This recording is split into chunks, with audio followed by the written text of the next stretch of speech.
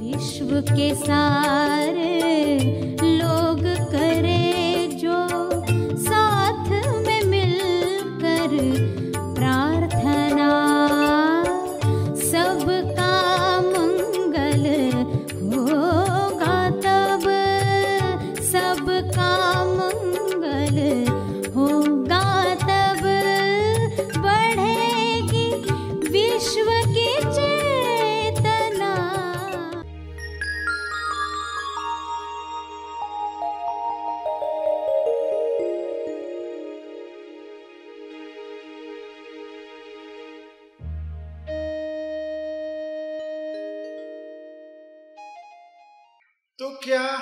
कभी हम अंतिम खुशी तक नहीं पहुँच पाएँगे। क्या कोई अंतिम खुशी है भी? और वो पाए भी तो तुरंत पा सकते हैं क्या? सभी को शुभेच्छा। हैप्पी थॉट्स तेज ज्ञान फाउंडेशन द्वारा आयोजित ध्यान प्रार्थना बीज बोने के लिए आप सबका स्वागत करते हैं। रोज हम सब मिलकर प्रार्थना करते हैं ताकि हम खुद भी स्वस्थ रह पाएँ और जो बीमार हैं उन्हें भी हम अपनी प्रार्थना का बल पहुँचा पाए। तो आइए ग्रहणशील रहते हैं और इस प्रार्थना का लाभ लेते हैं। सभी आँखें बंद करें।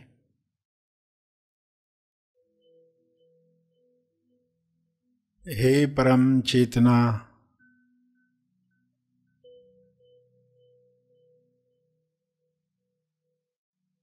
सभी तालमेल में आ जाएँ। सभी ईश्वरीय सत्ता के तालमेल में अपने तोलू मन पर विजय प्राप्त करें।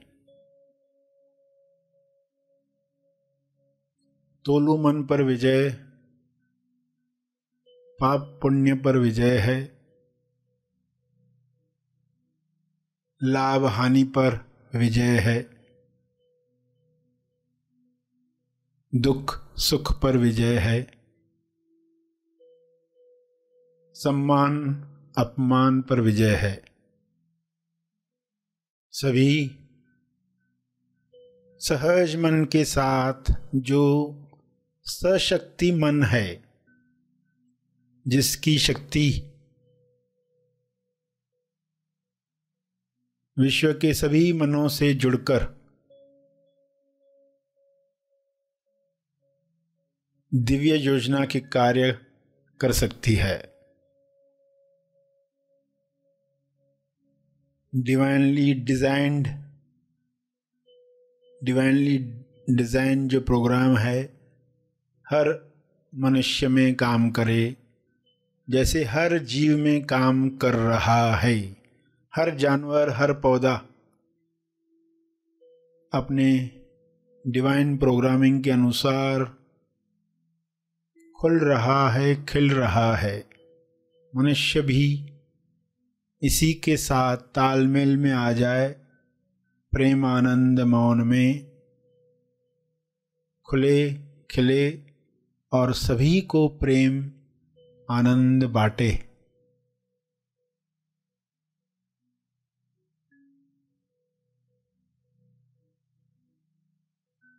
सभी अपनी शक्तियों को पहचाने जब इंसान अपनी शक्तियों को जान जाता है, तब दूसरों से छीनने का कार्य नहीं करता। दूसरों से ईर्ष्या करके खुद को दुख नहीं पहुंचाता। ईर्ष्या, द्वेष, घृणा से बीमारियों को आकर्षित नहीं करता। हे परमात्मा, हर मनुष्य से नफरत द्वेष घृणा डर समाप्त हो जाए ताकि सारी बीमारियाँ समाप्त हो जाएँ।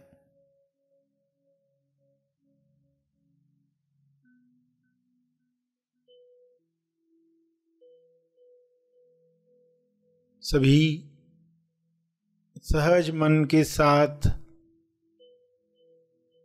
आहार ग्रहण करें भोजन खाएँ जिससे सभी स्वस्थ रहें। तोलू मन के अनुसार खाया गया अन्न बीमार करता है।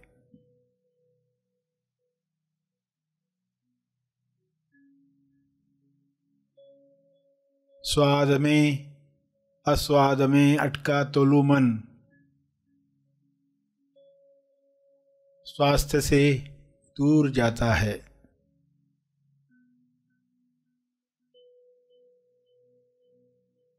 सभी की दिशा युक्त बुद्धि, विवेक चेतना, पूरी समझ के साथ काम करे, ताकि तोलू मन पर जीत आसानी से मिल पाए।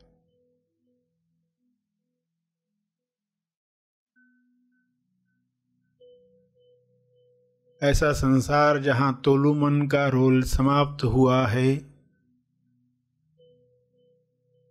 उच्चतम विकसित समाज है।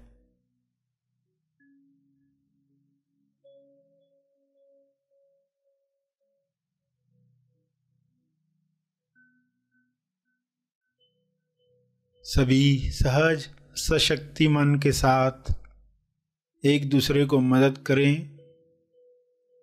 क्योंकि ऊर्जा भरपूर है, एनर्जी की कमी नहीं है।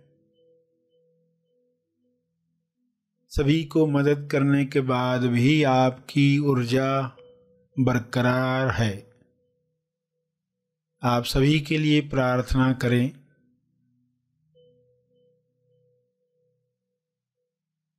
जो भी मनुष्य स्वस्थ हुआ है, वह प्रार्थना करे। औरों के लिए प्रार्थना करे। सभी को अपने तप का बल प्रदान करे। सभी को आपके स्वास्थ्य का लाभ मिले। सभी को आपके तप का लाभ मिले।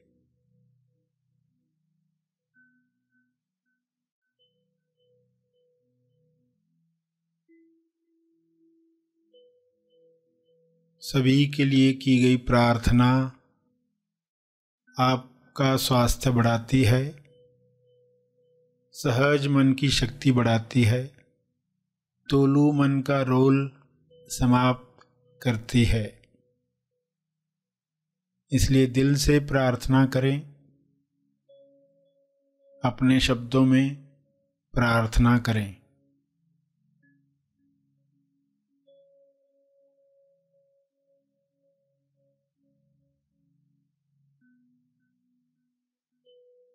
विश्व के सारे लोगों पर शुभ्र प्रकाश इस तरह फैल जाए कि तोलू मन समाप्त हो जाए, कल्लू मन पिघल जाए। रहे केवल सहज मन दिशा युक्त बुद्धि, शुद्ध इंद्रियाँ। निर्मल मन स्वस्थ शरीर प्रार्थना चलती रहे।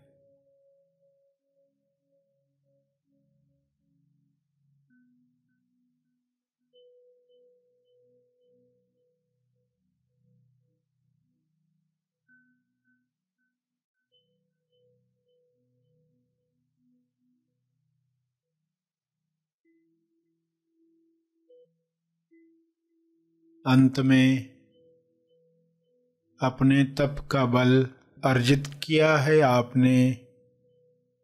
ध्यान से, प्रार्थना से, समझ से वह अर्जित बल सबको लाभ दे। इस शुद्ध भाव से तपर्पण करें। सभी धीरे धीरे आँखें खोलें। आइए सब ग्रहणशील होते हैं एक चेतना संदेश सुनने के लिए। प्यारे सत्य के खोजियों अब सबको शुभेच्छा। हैवी थॉट्स हर खुशी प्राप्त करने के बाद इंसान सोचता है इससे भी बड़ी खुशी हो सकती थी। जब मिली नहीं थी, लग रहा था, यही मिल जाए तो बस। विद्यार्थी कहता है एग्ज़ाम्स खत्म हो जाए बस। फिर खुशी ही खुशी है। प्रमोशन मिल जाए लॉटरी लग जाए, लड़की की शादी हो जाए। सिर्फ़ ये हो जाए तो फिर खुशी ही खुशी है। मगर वह हो जाने के बाद कुछ और उससे आगे है, ऐसा आभास होता है। शहर में जब समारोह हुआ, इस बात का कि शहर के सबसे बूढ़े इंसान को बुलाया गया उसका सम्मान करने के लिए, और वो लेट पहुँचा। लेट आने का कारण पूछा गया। तो उसने कहा, दरअसल अचानक पिताजी की तबीयत खराब हो गई थी। तब पता चला उसके आगे भी कोई और है। लगा यही सबसे बुरा है। और उसका पिताजी भी है। तो क्या कभी हम अंतिम खुशी तक नहीं पहुँच पाएँगे? क्या कोई अंतिम खुशी है भी? और वो पाए भी तो तुरंत पा सकते हैं क्या? आज का विषय है, तुरंत खुशी कैसे पाए? इंसान चार तरह की खुशियों में उलझा हुआ है, जिससे उसे बाहर आना है। नॉर्थ, साउथ, ईस्ट, वेस्ट, उत्तर, दक्षिण पूर्व पश्चिम, ये चार खुशियाँ हैं। और इन चारों के बीच में उसे पहुँचना है, केंद्र पर पहुँचना है, सेंटर पर पहुँचना है।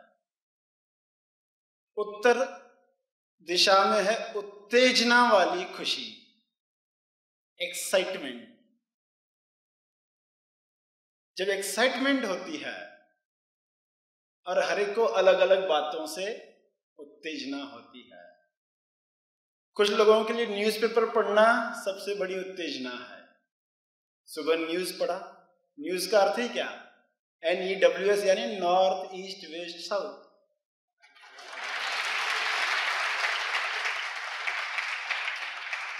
तो उत्तर की तरफ़ है उत्तेजना वाली खुशी। एक ऐसा न्यूज़ वो उसको एक्साइट करता है। ऐसा हुआ आज।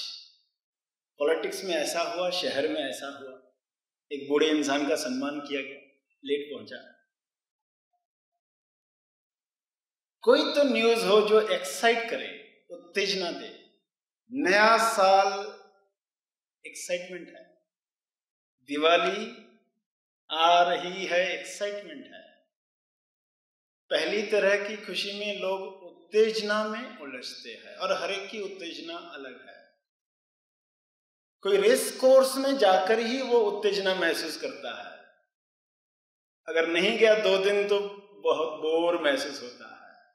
क्योंकि उत्तेजना का दूसरा पहलू क्या है?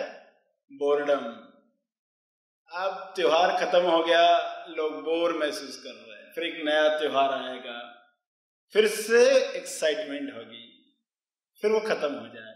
तो हर एक के लिए उत्तेजना अलग है, मगर वो जानते नहीं। इस उत्तेजना की वजह से वो बहुत बड़ी कीमत दे रहे हैं। क्योंकि हमारे नर्वस सिस्टम को वो आदत पड़ती जाती है।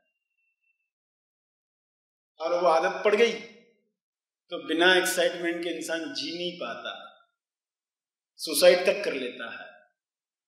कि जीवन में कुछ रहा नहीं नो एक्साइटमेंट तो उत्तर वाली खुशी मुक्ति पानी